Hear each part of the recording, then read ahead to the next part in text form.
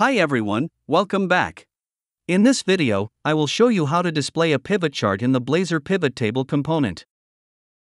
Additionally, you will see how to customize the axes, data labels, and legends. Lastly, you will see how to display and customize accumulation charts. First, I will open an existing Blazor application where I have placed a Blazor pivot table bound to the product details data source. If you want to know how to get started with the Blazor pivot table component, refer to the video attached in the YouTube card above. I will run this application to show the initial demo. Look here, the pivot table is rendered with the defined data source. Now, I will show you how to display the pivot chart for this pivot table. I define the pivot view display option tag and set the view property to chart.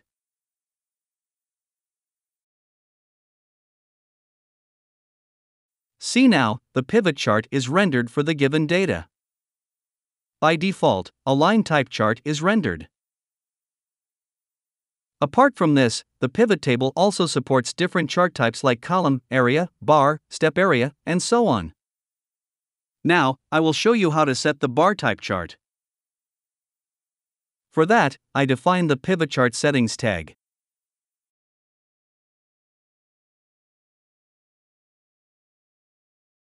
And within it, define the pivot chart series tag. I add the type property and set bar as its value. Check now, the bar type chart is rendered. Like pivot tables, you can also enable grouping bar and field list options in the pivot charts. To demonstrate, I enable the Show Field List and Show Grouping Bar properties in the SF Pivot View tag. See, the grouping bars and field list icon appear, using which you can sort, filter, and remove fields from the report. By default, the chart will be drawn with the first value field in the report. Here, units sold is the first value field on the value axis. Suppose I want to render the chart with some other value field like sold amount, I can use the value property. To demonstrate, I set the value property to amount. Look now, the chart is now rendered with the sold amount field. Suppose I want to display both the fields, units sold and sold amount in the chart, I can enable the multi-axis property. To demonstrate, I remove the value property and set the enable multiple axis property to true.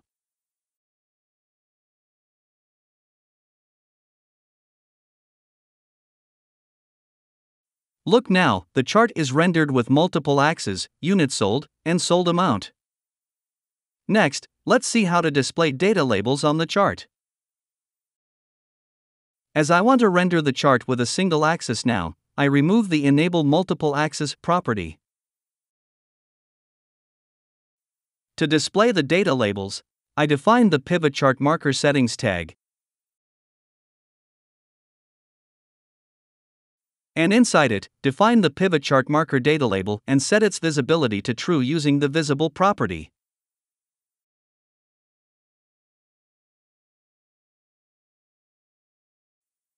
See, data labels are rendered here. You can also set and customize the background color, border, font color, font size, and position of the data labels. For more details, refer to the documentation link attached in the description below. Now, I will show you how to customize the axes in the pivot chart. To customize the x-axis, define the pivot chart primary x-axis tag. I am going to customize the x-axis label position by setting the label position property to inside. To display the y-axis values in reverse, I define the pivot chart primary y-axis tag. and set the is inversed property to true.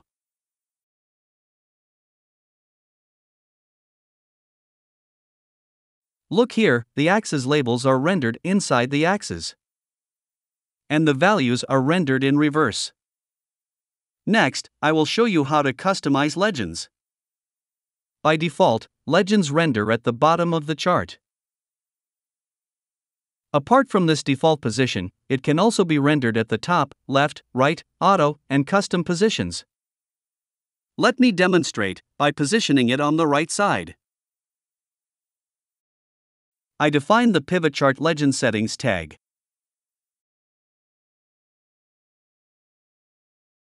And set the position to right.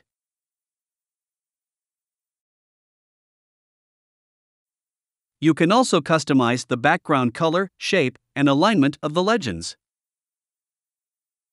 To do that, set the background property to an appropriate value. Then, I set the alignment to far.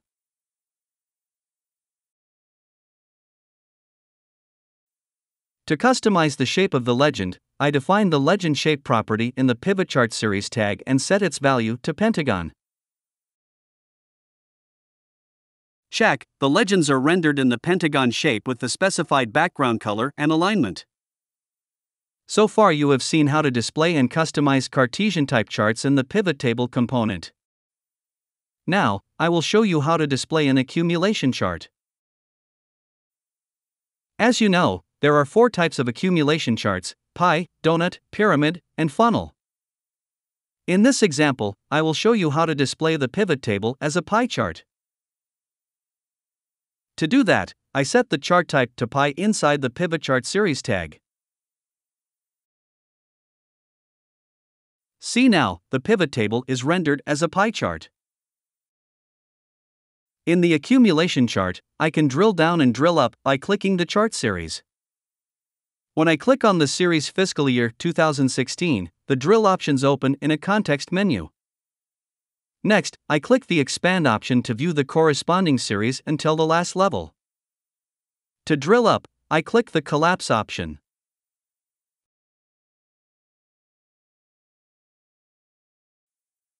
To explode a series, I enable the explode property in the pivot chart series tag.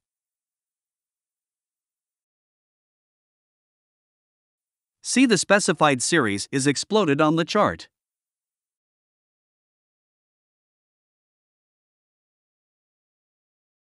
In this video, you have seen how to display the pivot chart.